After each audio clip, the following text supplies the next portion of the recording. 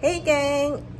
Today is the last day out here in LA, but I will be back. Learned so much out here. And most of all, I got to reunite with so much people that I missed. And living out here in LA, people has, you know, some of the scariest stories and some people have the most greatest stories. And this city is really, you know, if you find them, they're out there. These beautiful city of angels. And sometimes we just take too much time reading what's out there, the media and things like that. And so don't forget, we have the new moon coming up pretty soon.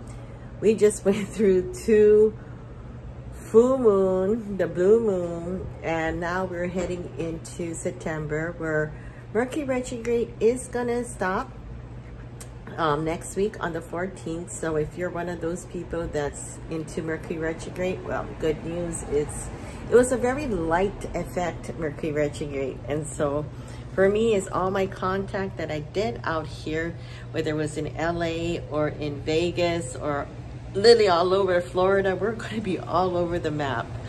So um, lots to do. This is my beautiful flowers. I don't know what it is. I thought I think it's called. Um, I don't want to say it because might I might make a mistake, but I think I don't know. But anyways, it's such a beautiful day out here in LA, and got things ready to rock and roll to head back to Honolulu and see what happened out there in um, Lihue. You know, you get you hear things in social media and there wasn't much because, you know, the day I left was exactly the day it happened. And so, you know, there's a lot of conspiracy theory, real theory, and if you can give, give out to the people out in Maui because they really, really need, you know, everyone's help, you know.